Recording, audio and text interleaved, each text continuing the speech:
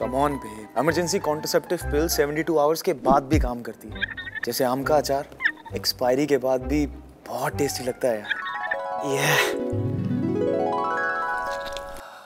ये कैसी अफवाह फैला रहे हो? बहन सुन। सेक्स के बाद पपीता खा ले। प्रेगनेंसी टर्मिनेट हो जाएगी। ये क्या अनाप शनाप बक रहे हो? कौन बात कर रहा है? मैं महान सेक्स गुरु हूँ। प्राचीन काल से लोग सेक्स से जुड़े फालतू रूमर्स फैला रहे हैं। अब दुनिया को सेक्स की सच्चाई बताना तुम्हारी ज़िम्मेदारी है। सारे सवालों के जवाब तुम्हारे अंदर छुपे हुए हैं। तुम हो सेक्सपर्ट सेना। सेक्सपर्ट सेना?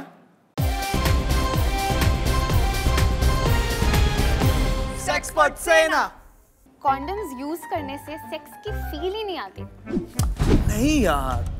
कुछ केसेस में कॉन्डम यूज़ करने से सेक्स देर तक चलता है। दो कॉन्डम्स यूज़ करना एक कॉन्डम से बेहतर है। गलत। दो कॉन्डम यूज़ करने से फटने का रिस्क बढ़ जाता है। ओरल सेक्स के समय कॉन्डम की ज़रूरत नहीं होती है। एक गलत। अगर कॉन्डम यूज़ ना करो तो सेक्सुअली ट्रांसमिटेड इन्फेक्शन फैल सकता है।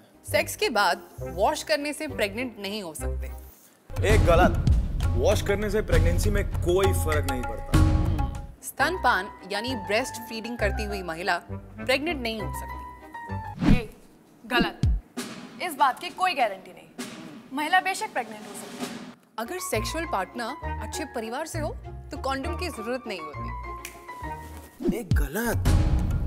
अनवांटेड प्रेगनेंसी और सेक्सुअली ट्रांसमिटेड डिसीज से बचने के लिए कॉन्डम ज़रूरी होता है यार। सेक्सपर्ट सेना अगर आपको कॉन्ट्रासेप्शन के बारे में और इन्फॉर्मेशन चाहिए तो आप एम टी वी नीचे डॉट कॉम पर लॉग इन करिए on guide stay safe be happy